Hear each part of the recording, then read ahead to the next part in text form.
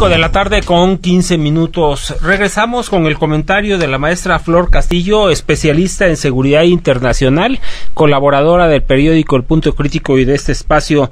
Maestra Flor, muy buenas tardes, ¿cómo has estado?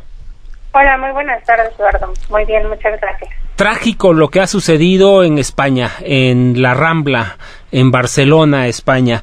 Dos atentados prácticamente el mismo día, uno con la furgoneta esta que arrolla a los turistas, deja muertos, muchísimos lesionados, y por el otro lado, la otra furgoneta que al parecer eh, pretendía arrollar a un cuerpo de policías eh, de Barcelona logra herir a, dos sin embargo lo abaten ¿cuál es tu comentario y tu percepción de lo que está sucediendo? porque en lo que va del año siete atentados en cinco países eh, europeos diferentes Así es. bueno, lo primero es este, decir que el paso más importante ahorita que podemos ver es que tanto eh, el grupo ISIS se adjudicó el atentado, como el gobierno ya reconoció que es un atentado terrorista, entonces esto ya lo pone como en el contexto internacional como un atentado terrorista eh, ya eh, de algún modo aceptado, ¿no?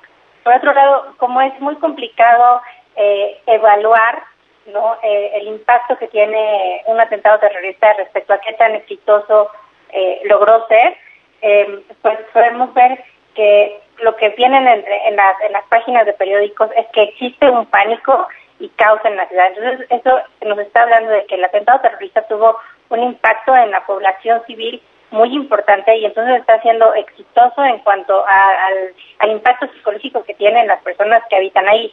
Por otro lado, es importante eh, también comentar que se hizo en un centro turístico, lo que le da a este a este atentado, eh, pues un impacto que va más allá de los civiles nacionales, ¿no? También estamos hablando que posiblemente puedan haber víctimas con otras nacionalidades y entonces esto también abre a, otro espectro de impacto mediático en el mundo occidente, ¿no? Porque si bien es cierto que han habido ocho atentados en lo que va de este año en Europa, este, no son los únicos, porque han habido muchos atentados terroristas en Medio Oriente, sin embargo, para el mundo del occidente, pues es, es un poco desconocido porque no no se le da la misma cobertura que se le da cuando sucede en, en Europa, ¿no? Eh, y, y, pues finalmente nada más comentar que pues para muchos podría ser una sorpresa por qué se trata de España, porque podríamos pensar que España es como más pacifista o que no no está a la altura de Estados Unidos o un, un país con mucho más eh, actuación eh, internacional bélica sin embargo, España es, uno de los países miembros de la coalición internacional que eh, tienen activamente un programa de cooperación en contra de eh, los grupos terroristas de ISIS. Y justamente en ese sentido, España tiene eh, operaciones de capacitación a militares y a policías en Siria y en Irak.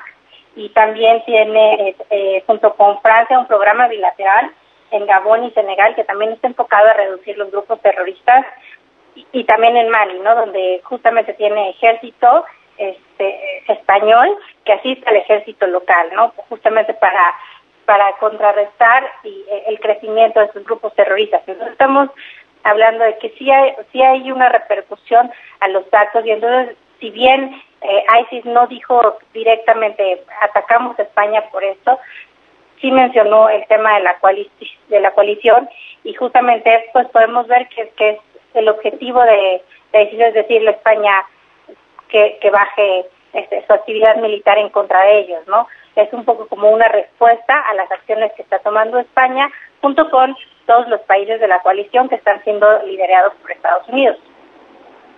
Flor, eh, sin lugar a dudas, todo esto que viene sucediendo eh, los cuerpos de inteligencia, los sistemas de seguridad a nivel mundial, sobre todo de la Central de Inteligencia Americana, eh, han venido detectándolos y poniendo en alerta a los diferentes gobiernos. En el caso de España, hace aproximadamente dos meses, eh, de acuerdo a reporte que está haciendo la Central de Inteligencia, se les dio aviso de que podrían tener un atentado precisamente en la Rambla.